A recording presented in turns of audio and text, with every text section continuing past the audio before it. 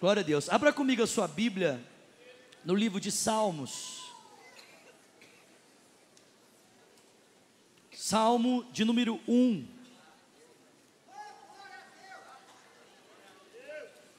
Eu quero falar hoje sobre a busca da felicidade, amém?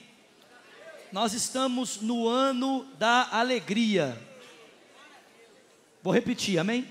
Nós estamos no ano da alegria, amém? Quem quer ser feliz aqui? Pergunta para a pessoa do seu lado: Você quer ser feliz, meu irmão? Quantos querem ser felizes aqui? Então eu quero falar sobre a busca da felicidade nessa noite. Aleluia.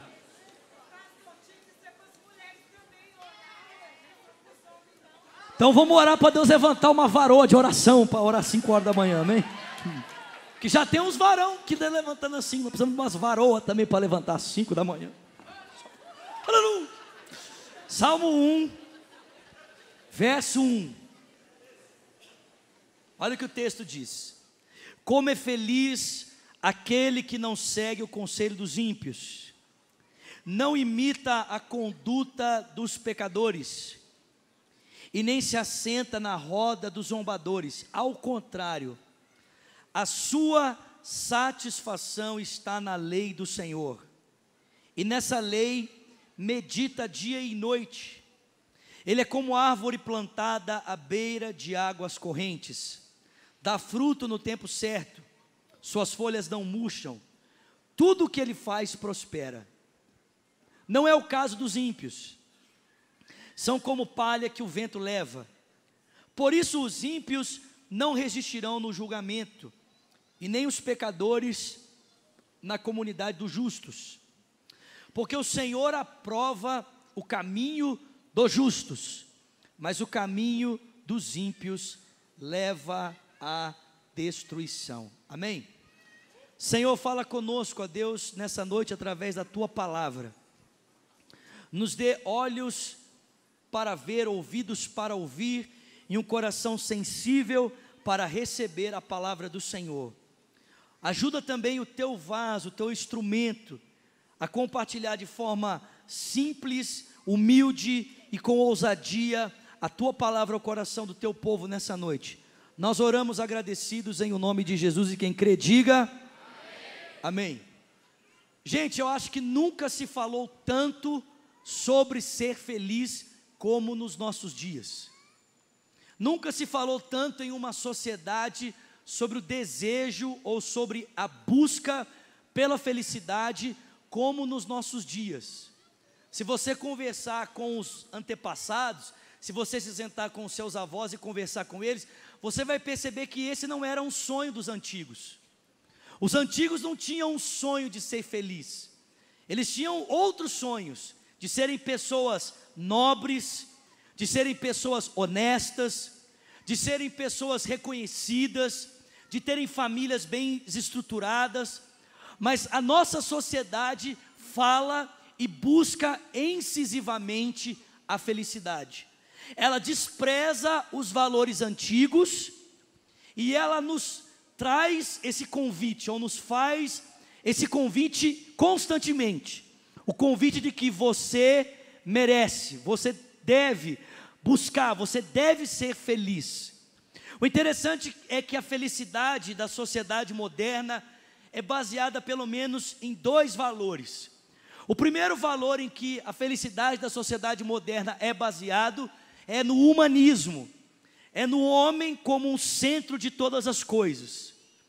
É em sermos a referência para a decisão de qualquer coisa na nossa vida.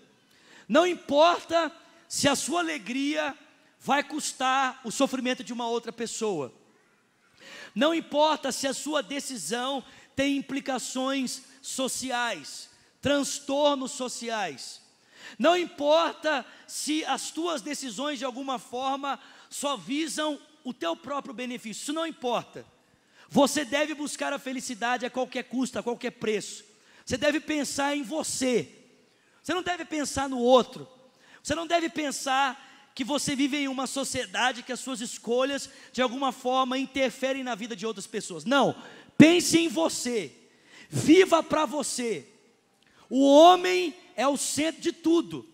A sua vida deve ser definida a partir do que você deseja, a partir do que você quer. Esse é o humanismo.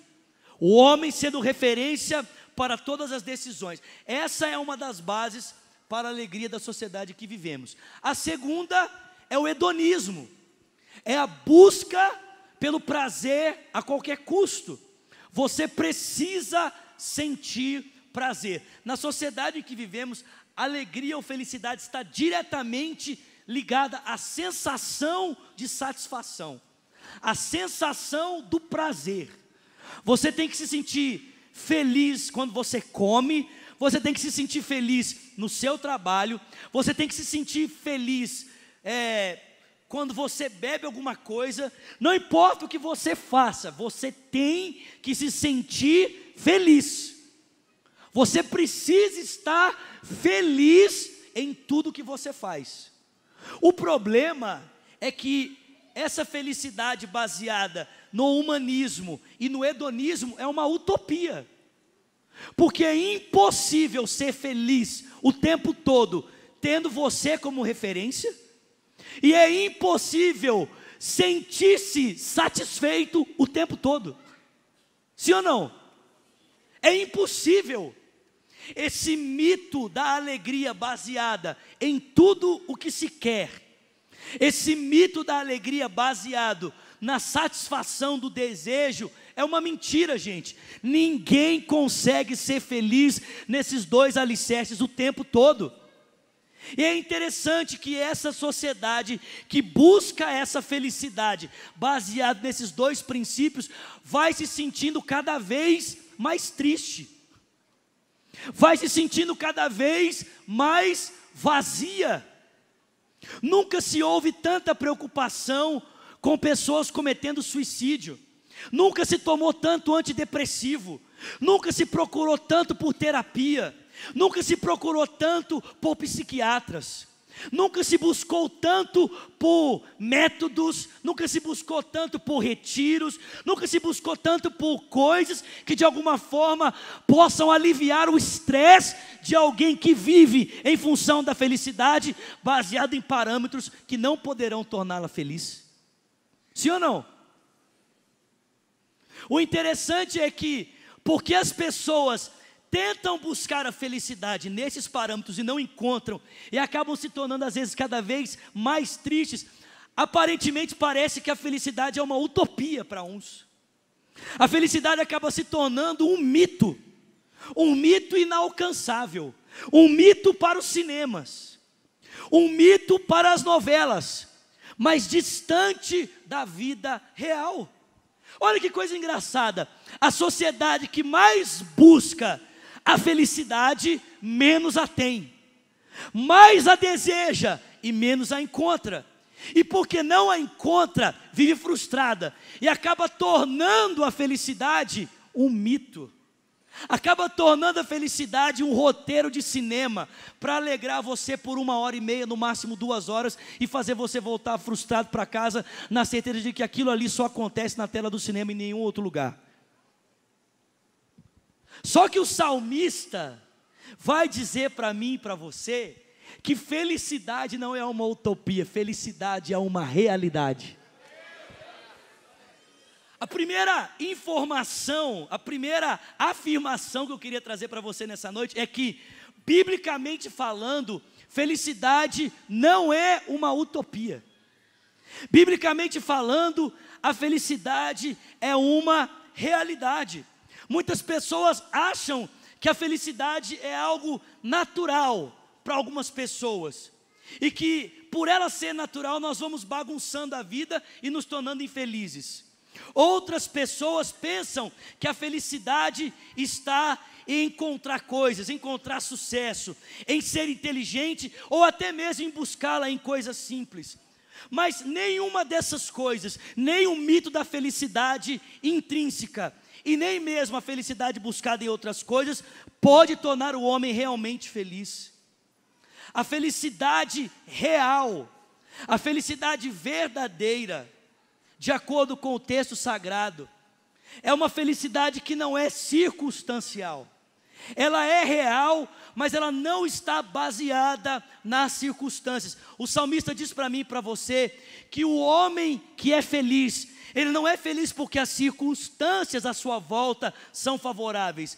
O texto diz que o homem que é feliz, ele é feliz porque ele é como uma árvore plantada junto ao ribeiro de águas correntes.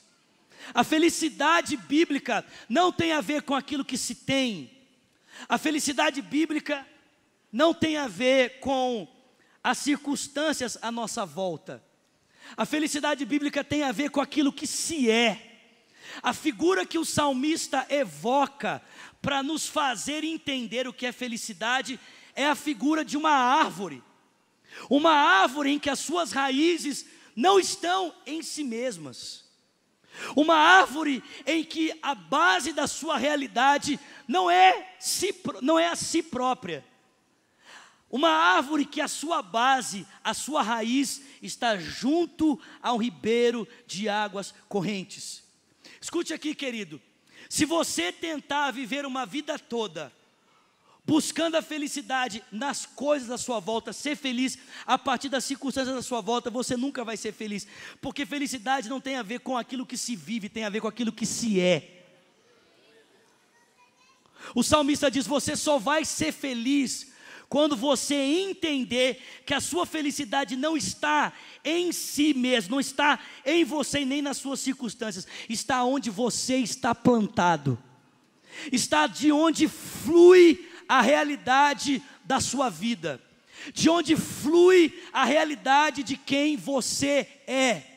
O salmista diz que o homem feliz é aquele que tem a sua vida plantada junto ao ribeiro de águas correntes. Ele diz que essa pessoa, ainda que as circunstâncias à sua volta elas mudem, ele não deixa de dar fruto na estação própria e as suas folhas não murcham. Preste atenção, as circunstâncias à volta dessa pessoa não são capazes de alterar quem ela é. Por quê? Porque a base da sua vida está em um outro lugar. A base da sua vida está firmada em uma outra realidade. E quem é que deve ser a base da minha vida? Quem deve ser a base da sua vida? Eu digo para você: a base da nossa vida precisa ser Jesus Cristo. Você quer ser realmente feliz? Você precisa entender que a verdadeira felicidade está além de quem você é ou das circunstâncias à sua volta. A verdadeira alegria é aquela que tem como fundamento uma pessoa, a pessoa do Senhor Jesus. Aliás, o próprio Jesus disse isso para mim e para você. Quer ver? Abra comigo a sua Bíblia no Evangelho de João, por favor.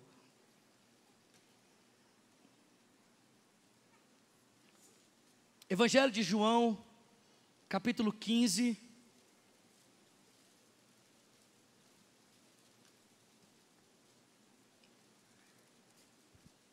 Olha o que ele diz.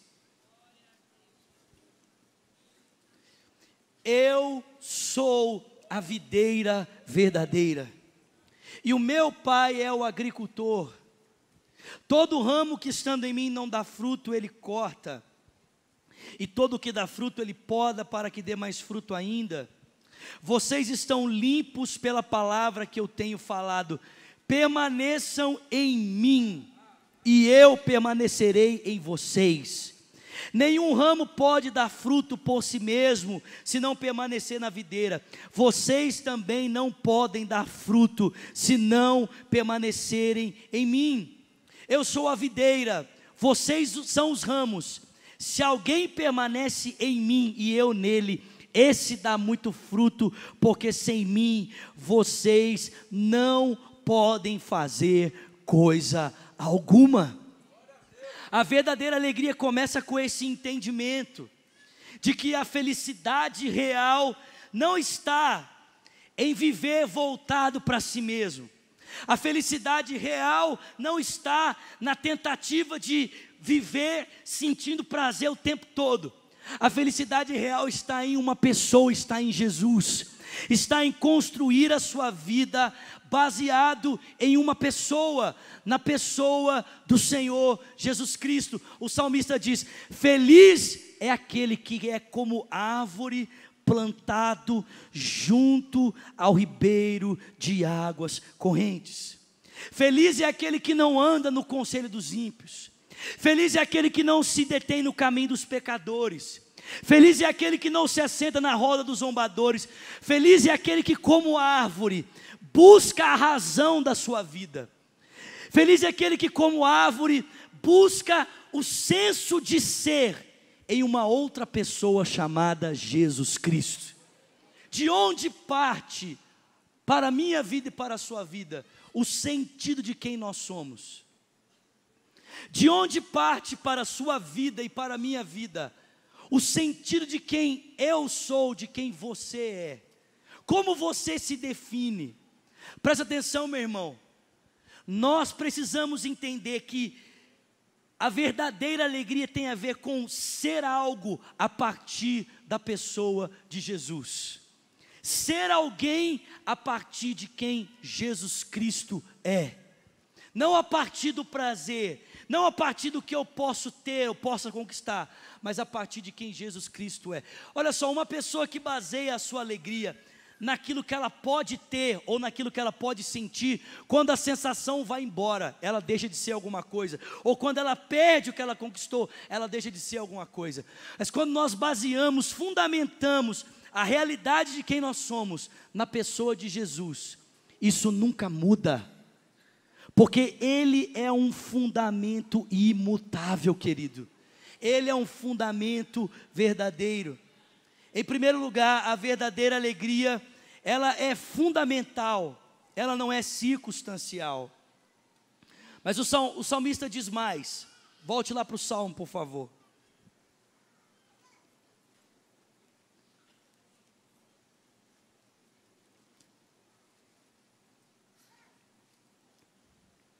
O salmista diz para mim e para você que não apenas a verdadeira alegria está em ter as suas raízes em uma outra realidade. O salmista diz para mim e para você, no verso de número 2: ao contrário, a sua satisfação está na lei do Senhor, e nessa lei ele medita de dia e de noite. Diga comigo, de dia e de noite. O segundo princípio que o salmista nos ensina aqui é que a felicidade nunca pode ser encontrada diretamente. Ela nunca pode ser achada diretamente. Busque a felicidade e você nunca vai ser feliz. Busque ser feliz e você nunca vai encontrar felicidade. O salmista diz que a verdadeira alegria, ela é achada aonde? Ela é achada na lei do Senhor.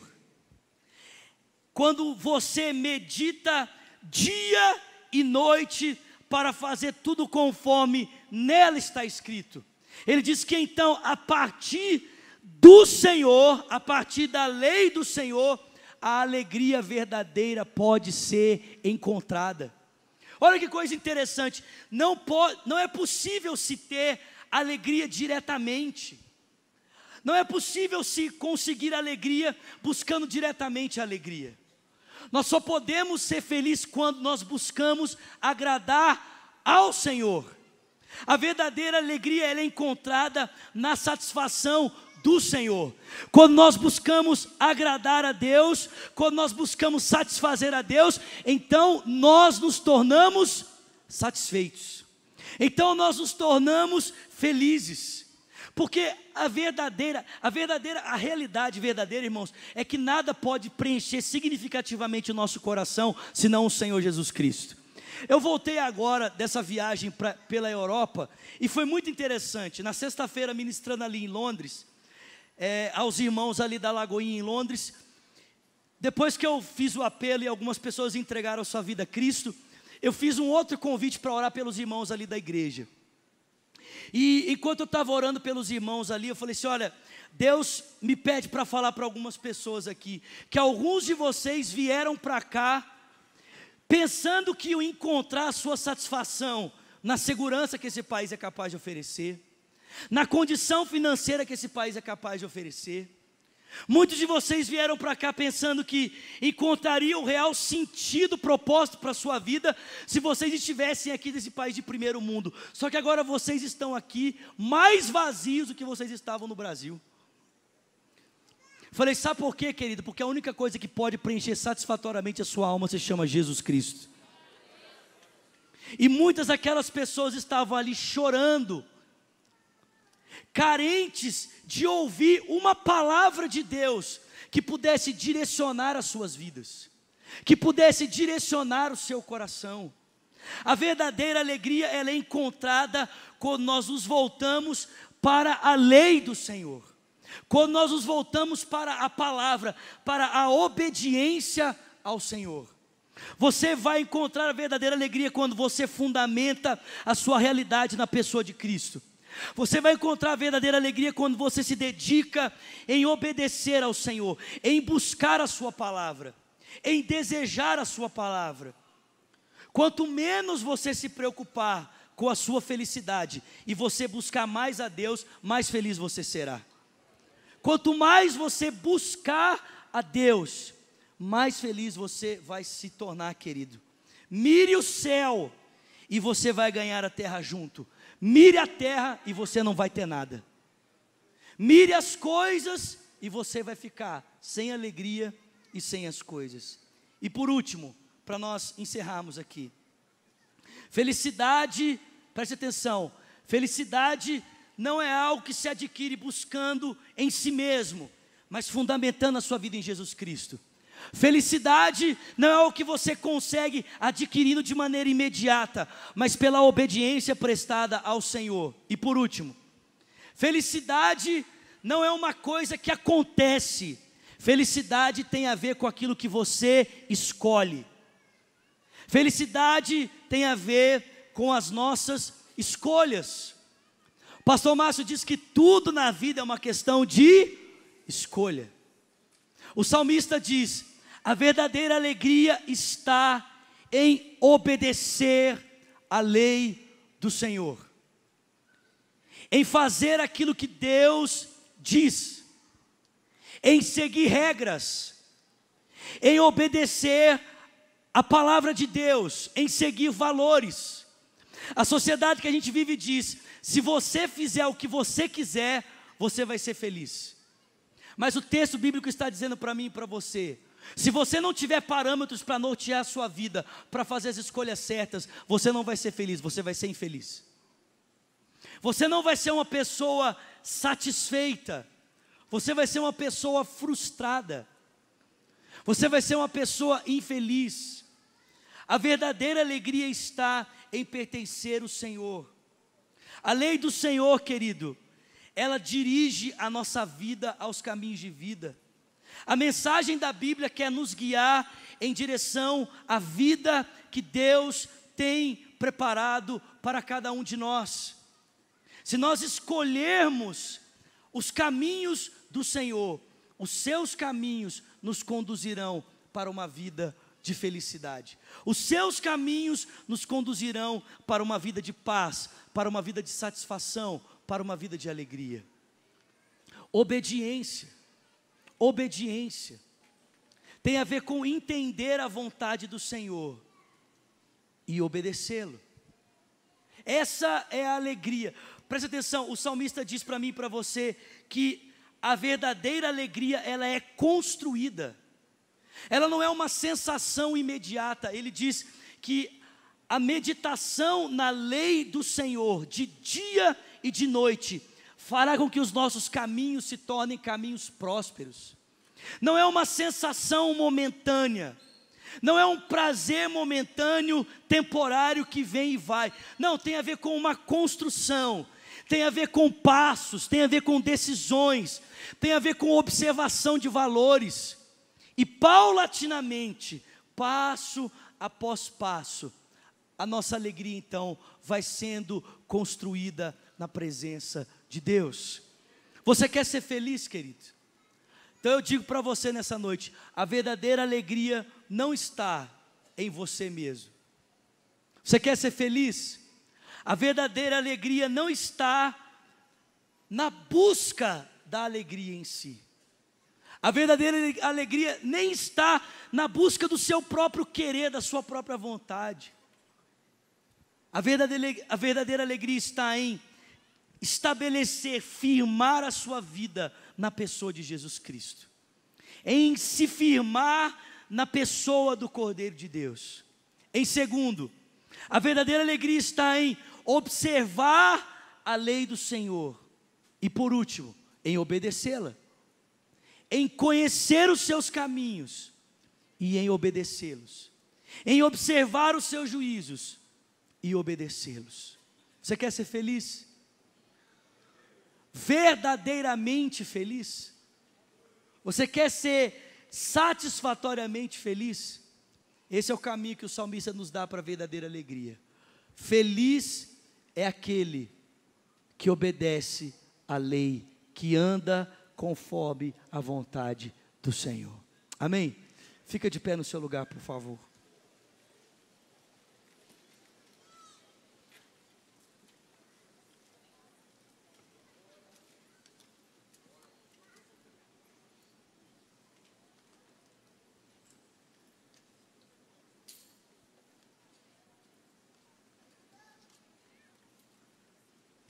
Nada contra psicólogo, amém? Nada contra fazer terapia. Nada contra tomar remédio. Eu não sou contra essas coisas. Se você precisa disso, faça isso. Se você precisa de terapia, faça terapia. Eu faço terapia, não tenho vergonha nenhuma de dizer isso. Mas preste atenção. Talvez a razão da tua insatisfação seja exatamente quais são os pilares que você norteia a razão da sua felicidade.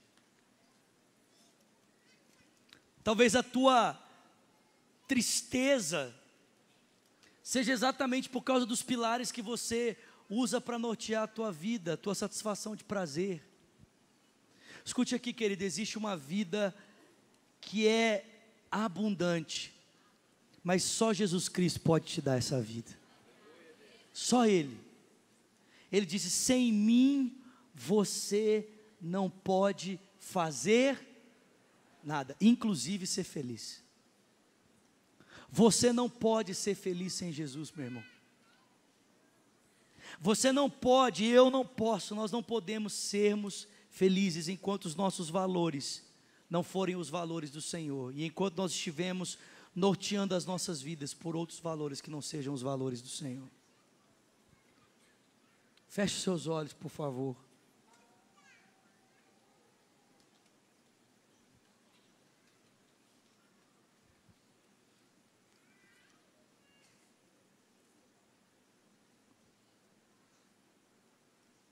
Você tem corrido atrás da, da verdadeira alegria? Você tem corrido atrás de ser feliz? Ah, eu, tudo que eu quero é ser feliz, pastor. Então eu digo para você nessa noite: entrega o teu caminho ao Senhor, confia nele, e o mais Ele fará. Com seus olhos fechados, suas duas mãos sobre o seu coração, por favor.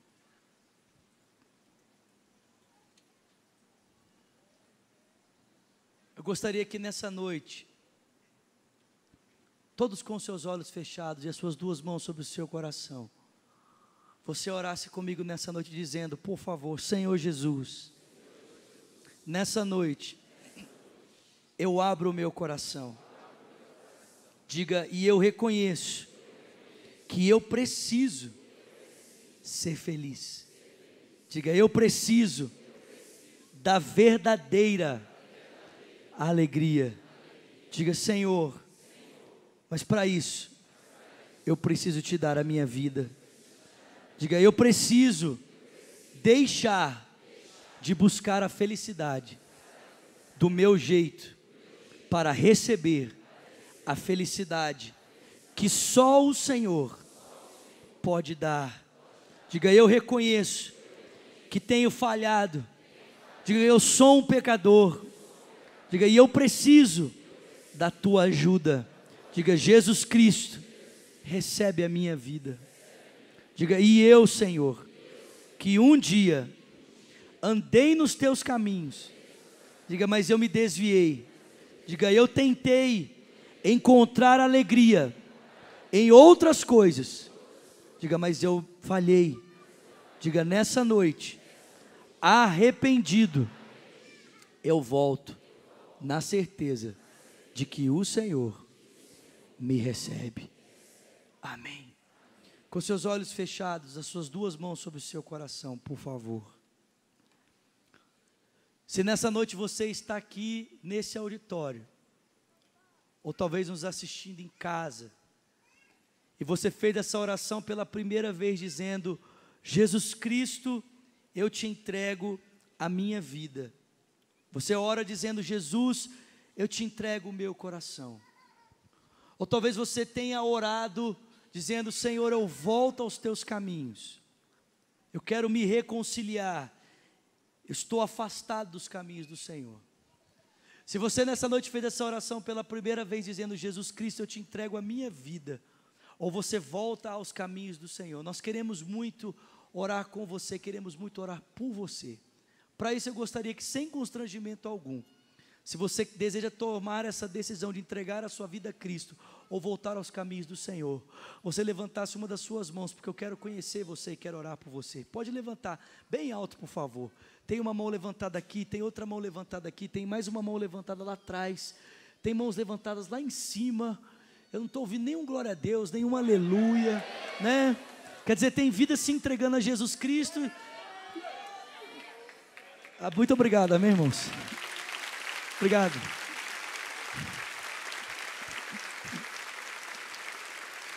Eu vou pedir que você que levantou uma das suas mãos, por favor, sai do seu lugar e vem aqui pertinho de mim, porque eu quero orar com você. Pode vir. Enquanto você sai do seu lugar e vem, a igreja vai aplaudir você. Pode vir, vamos aplaudir forte, irmãos, por favor.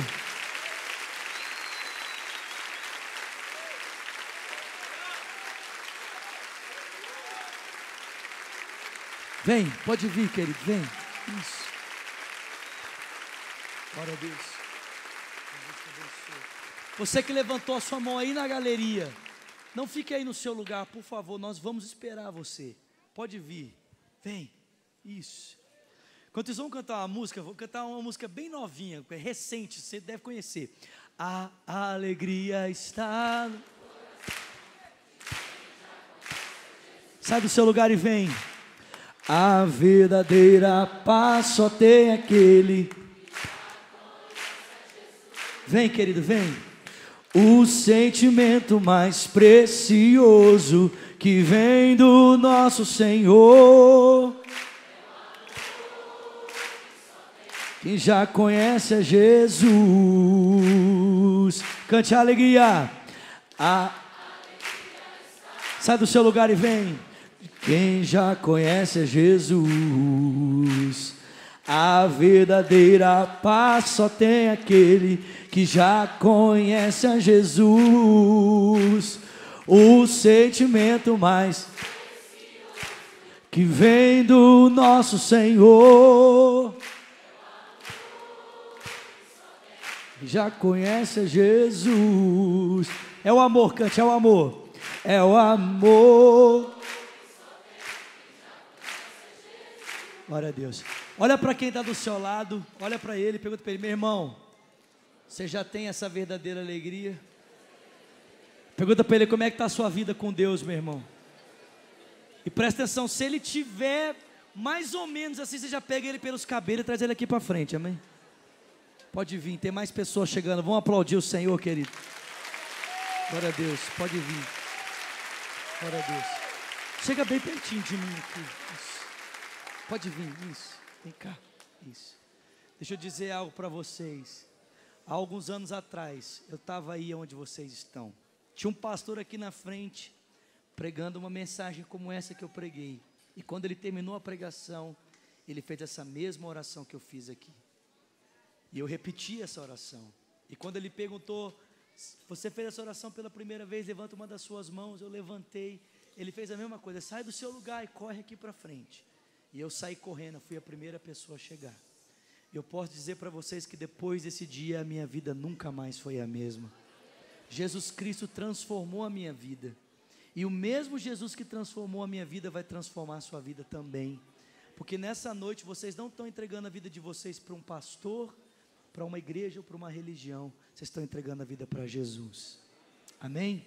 Igreja, estenda suas mãos para cá, por favor.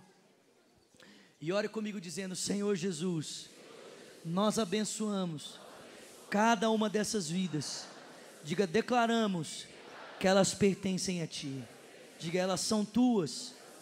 Senhor, que elas saiam daqui nessa noite, experimentando da verdadeira alegria que é pertencer a Ti, para a honra e para a glória do Teu nome. Diga, Senhor, que o Teu Espírito faça morada nesses corações. Diga, nessa noite, nós os abençoamos, em nome do Pai, do Filho e do Espírito Santo. Amém. Vamos aplaudir essas pessoas aqui, irmãos. Olha aplaudir forte, por favor. Diga glória a Deus. Aleluia. Olha só.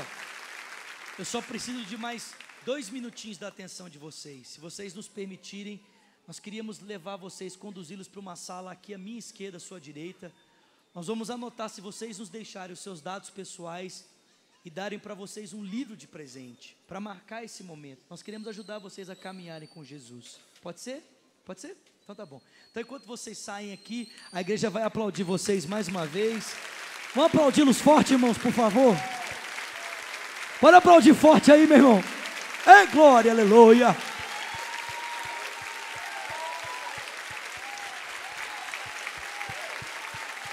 Vamos aplaudir forte aí, gente.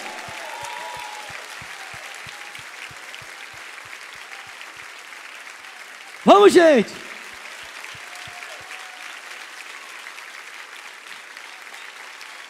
Vamos, gente. Aleluia. Glória a Deus. Estenda suas mãos. Semana que vem eu conto um pouquinho de como foi a viagem. Amém, gente? Que já deu a minha hora aqui.